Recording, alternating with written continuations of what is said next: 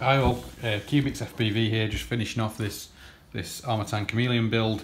Um, one thing to point out, uh, I'll put some um, some titles on the screen of the mistakes in the earlier bit, but I, I don't know if anyone spotted it, but uh, I soldered the uh, the five volt supply to the to the ground and the signal rather than the ground and the positive.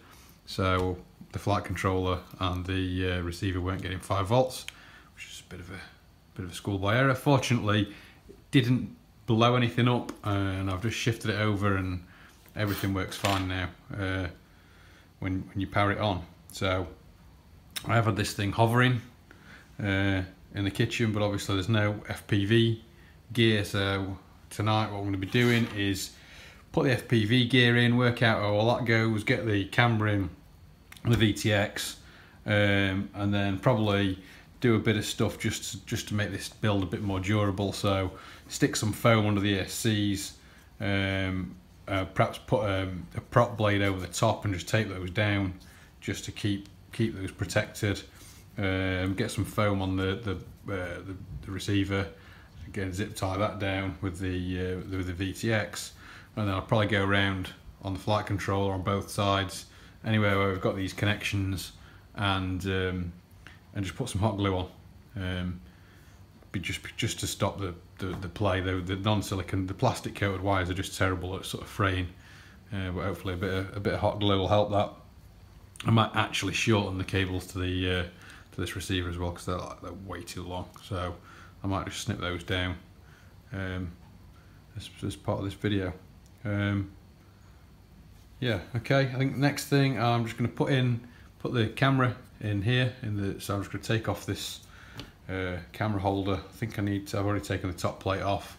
Um, I think I might actually need to take take both of these off and put the camera in and sort of rebuild it. So there goes.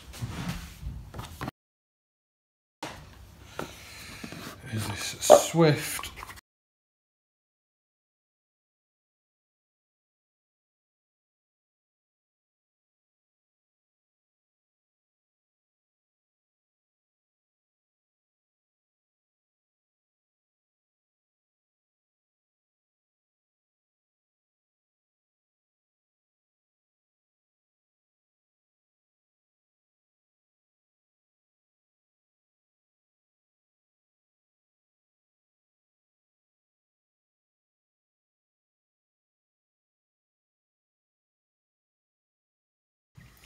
Right, okay, just tried to be clever and um, make a loom by undoing connectors and redoing connectors.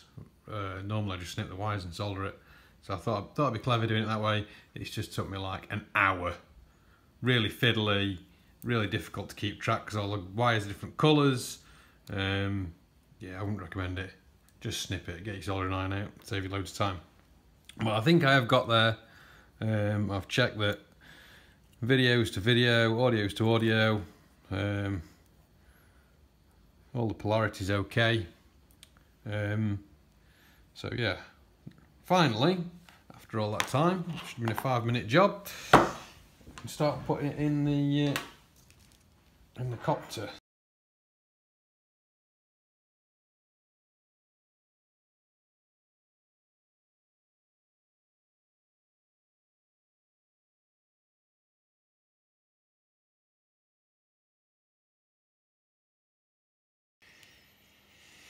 Uh, I do need to solder this onto VBAT.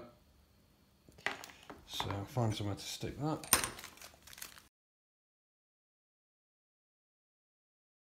Try and put it on where this capacitor and um, the other VBAT connection is.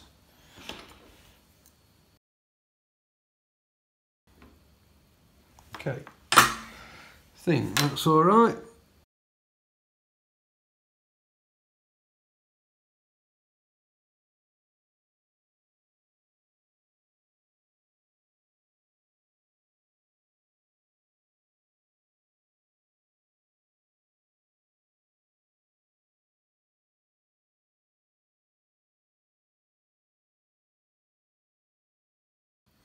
Right, it's hot glued. Oops.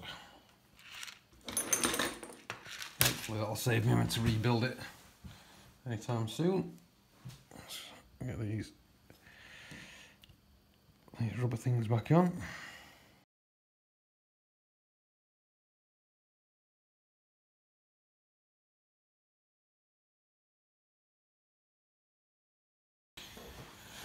Okay, right, so that's the connection for the uh, tramp touch and race thing, which I'm going to fix on there, like that.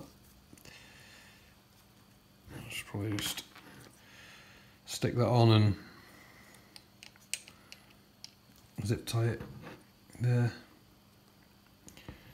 You need to get the, the wand to it, so that seems like a decent spot.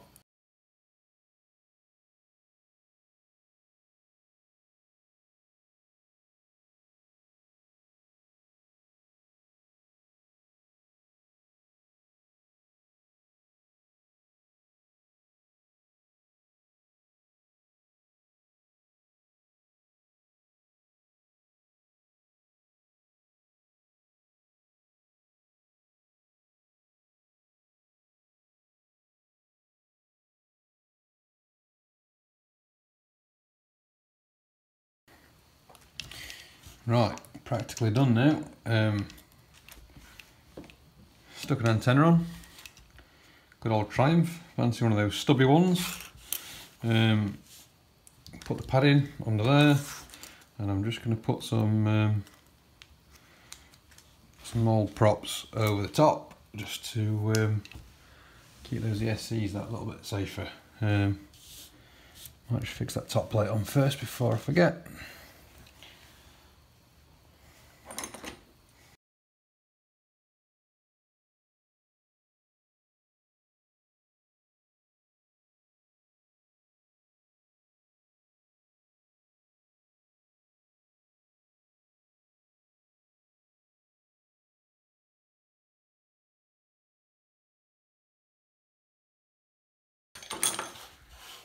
There we have it. My Armattan Chameleon.